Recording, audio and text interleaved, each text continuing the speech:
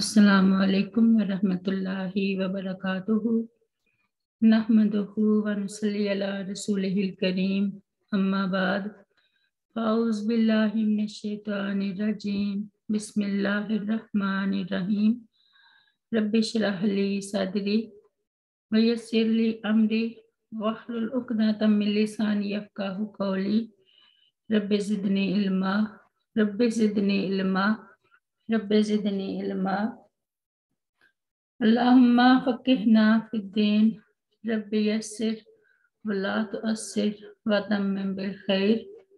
Rabbi इरहमहुमा कमा रब्बयानी सगीरा। Rabbi इरहमहुमा कमा रब्बयानी सगीरा। Rabbi इरहमहुमा कमा रब्बयाना सगीरा।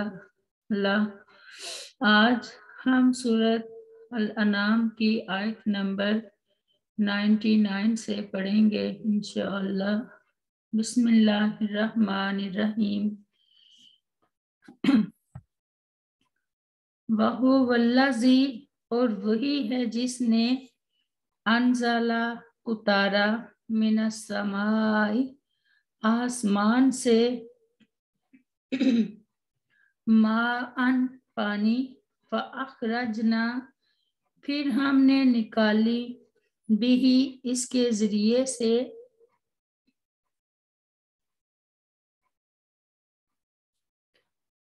नबाता, नबातात कुल्ली इन हर चीज़ की, फ़अखरजना, फिर हमने निकाला।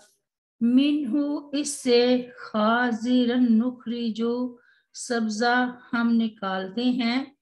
मिनहु इससे हब्बन दाने मोता बन एक दूसरे के ऊपर चढ़े हुए। वामे नखली और खजूरों से मिन तल इहा उनके शगुफे से। किन वान उन गुच्छे दानियातुन झुके हुए। व जन्नातिन और बगात निकाले। मिन बिन अंगूरों के। व जैतूना और जैतून के व रुमाना और अनार के मुश्ताबिहन मिलते जुलते हैं उनके पत्ते।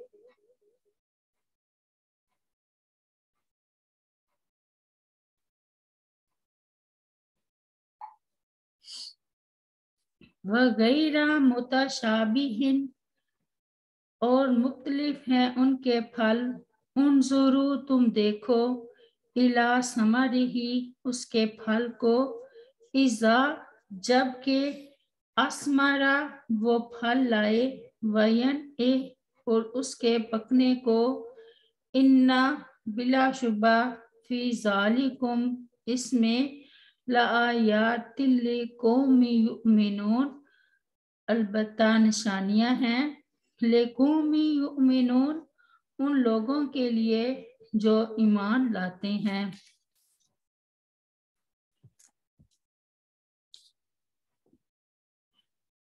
इस आयत से अब अल्लाह ताला की और अजीब सन्नतकारी का बयान शुरू हो रहा है।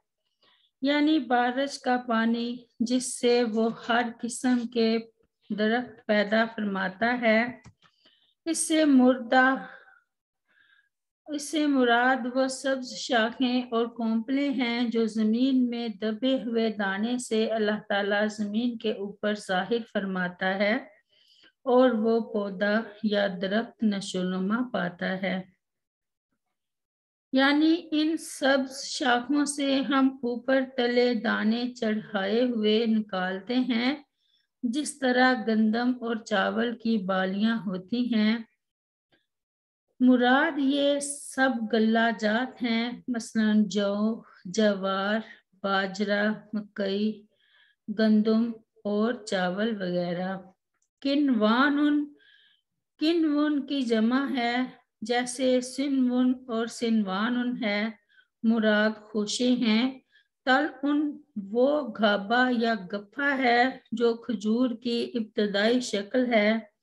यही बढ़कर खुशा बनता है। और फिर वो रतब की शक्ल इख्तियार कर लेता है। दानियातुन से मुराद वो खुशे हैं जो करीब हों और कुछ खुशे दूर भी होते हैं, जिन तक हाथ नहीं पहुँचते। बतौर इम्तनान दानियात उनका ज़िक्र फरमा दिया है। मतलब है, मिनहा दानियातुन व मिनहा बाईदातुन कुछ खोशे करीब हैं और कुछ दूर बाईदातुन मखजूफ है।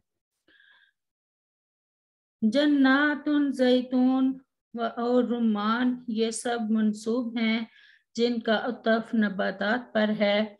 यानी फ़ाखरजना बिही जन्नातिन, यानी बारिश के पानी से हमने अंगूरों के बागात और जैतून और अनार पैदा किए।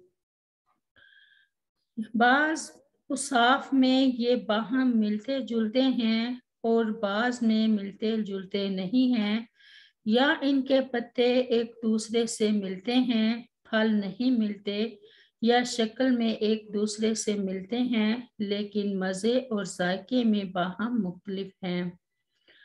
मजकूरा तमाम चीज़ों में खाल के कायनात के कमाल, कुदरत और उसकी हमत और रहनमाई के और रहमत के दलाइल पाए जाते हैं।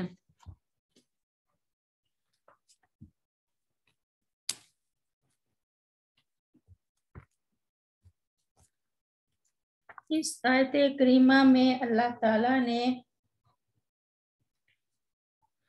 अपने कमाल कुदरत की एक अजीम दलील पेश की है और इंसानों के लिए एक बहुत बड़ी नेमत का ज़िक्र फरमाया है, वो ये कि अल्लाह ताला अपनी मखलूक पर रहम करते हुए बादल से पानी बरसाता है।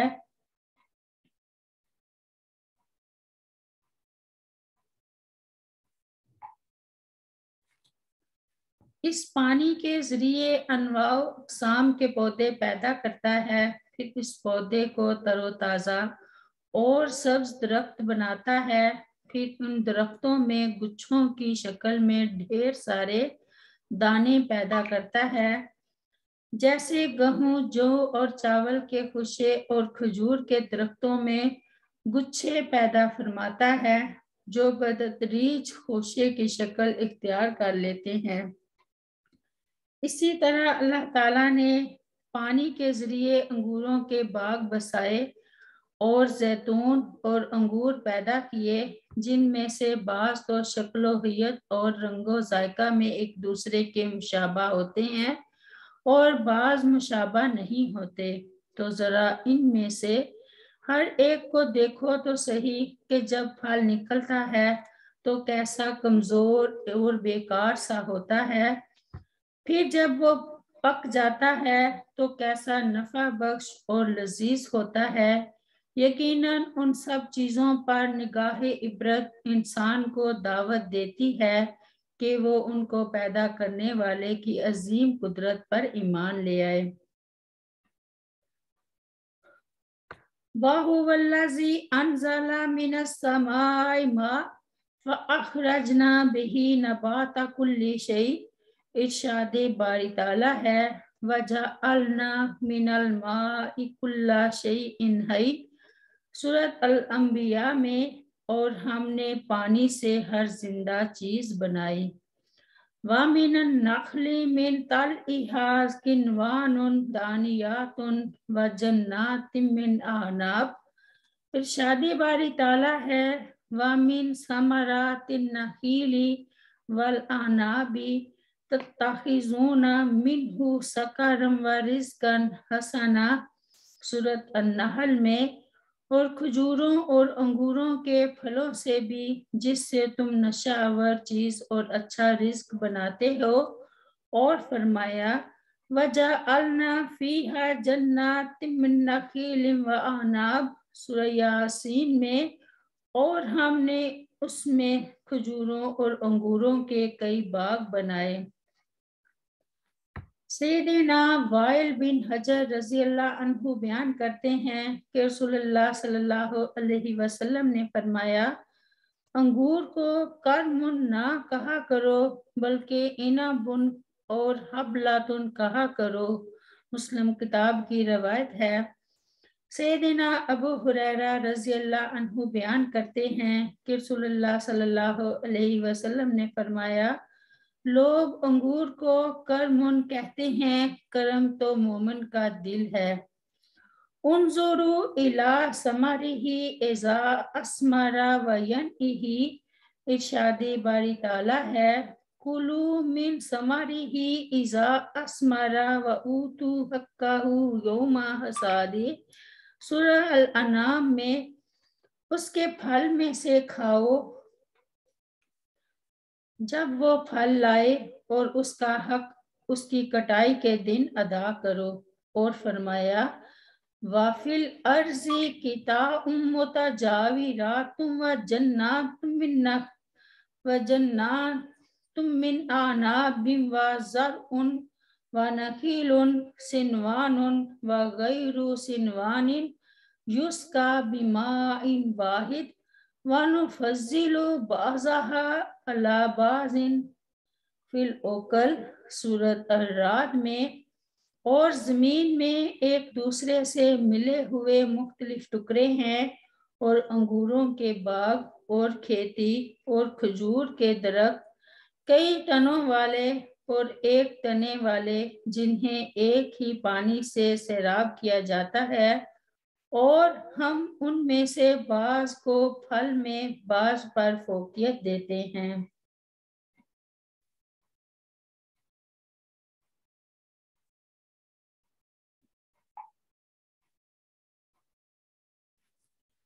सैदना अबू हुरैरा रज़ी अल्लाह बयान करते हैं कि लोग जब नया फल देखते तो उसे रसूल करीम सल्लल्लाहु अलैहि वसल्लम के पास ले आते आप सल्लल्लाहु अलैहि वसल्लम उसे ले लेते और ये दुआ पढ़ा करते, अल्लाहुम्मा बारिक लना फ़ी से मारिना व बारिक लना फ़ी मदीनातिना व बारिक लना फ़ी साइना व बारिक लना फ़ी मुद्दीना।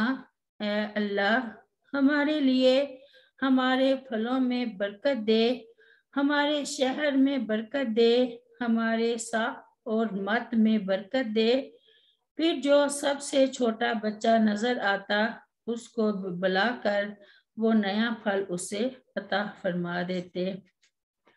अल्लाह ताला हमें अपनी कुदरत कामला पर पुख्ता यकीन रखने की तोफीक अता फरमाए। अल्लाह ही वो वहदाहुला शरीक अलाजात है, जिसने ये कायनात बनाई।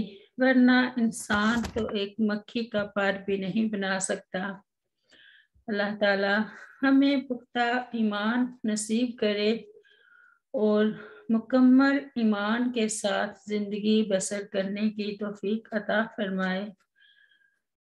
आमीन। या रब्बुल आलमीन रब्बिक फिरली वाली वालिदैया, वाली मन